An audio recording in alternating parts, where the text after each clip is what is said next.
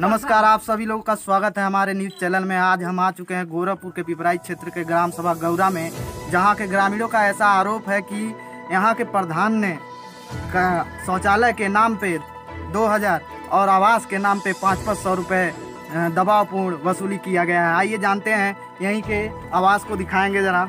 यहाँ के, इसके लिए इन्होंने यहाँ के ग्राम प्रधान श्री रामाकांत सिंह जी ने पाँच सौ रुपये जमा करा लिए हैं, लेकिन आवास के नाम पे ये झुग्गी झोपड़ी आप देख सकते हैं। के साथ साथ जिसका भी घर मिला है उन सभी लोगों से प्रधान जी ने बीस बीस हज़ार रुपए हाँ, अपने ले लिए हैं। आइए इसी में एक और मामला ऐसा ही। है सबसे पहले आप अपने पति का नाम बताइए। पति राम का बोले। राम समीर नाम। है। आपका आवास मिला है? ना मिला है का मिला है? मिला है? कुली ले ले एक लाख मिलल हल, एक लाख बीस हज़ार। तब बीस हज़ार ले ले कौन ले लिया? वो रामा कर प्रधान। रामाकांत सिंह जी ने आपसे हाँ, बीस हज़ार रुपए हाँ, आपने- हाँ।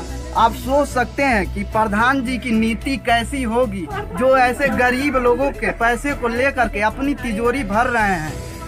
नाली के नाम पे यहाँ गड्ढे पड़े हुए हैं। गाँव के आप माहौल देख सकते हैं, आप स्थिति देख सकते हैं कितनी बुरी हालत है यहाँ पे। नाली के नाम पे हर घर पे गड्ढे खने गए हैं। नाली नहीं बनी हुई है। हैं, एक और ऐसा ही मामला सामने आया है। जहाँ पे आवास के नाम पे बीस हज़ार रुपए अपने प्रधान जी ने ले लिया है। क्या नाम है प्रधान का। रामाकांत सिंह जी ने बीस हज़ार रूपए अपने ले लिए हैं। आइए जानते हैं उन्हीं के जुबानी। आपका आवास आया है? हाँ। क्या नाम है आपका? हुआ जैसा कि आप देख सकते हैं विकलांग आदमी को भी यहाँ के ग्राम प्रधान छोड़ नहीं रहे हैं। इनका भी पैसा इन्होंने बीस हज़ार रूपए ले करके आप देख सकते हैं इनका हाथ सही नहीं है। इसी के साथ आइए जानते हैं एक और ऐसा ही मामला ग्राम सभा गौरा का, जहाँ पे रामाकांत जी ने चार साल पहले घर का रजिस्ट्रेशन के नाम पे पाँच सौ रुपया ले लिया, लेकिन अभी तक आवास के नाम पे झुग्गी झोपड़ी देखने को मिल रही आप सोच सकते हैं कैसी मानसिकता है ये प्रधान की, और देखिए कैसी हालात है इन लोगों की आप देख सकते हैं कि घर के नाम पे झुग्गी झोपड़ी किस तरह से दिखाई दे रहा है।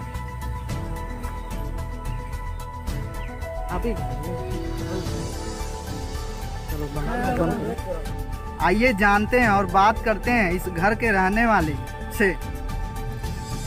जी, बताइए, आपके पति का क्या नाम है?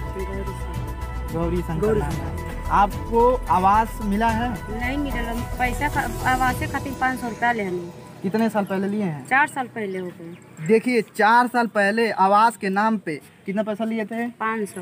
पाँच सौ रुपये ले करके लेकिन अभी तक आवास के नाम पे केवल एक टूटी हुई झोपड़ी दिखाई दे रही है। आप सोच सकते हैं।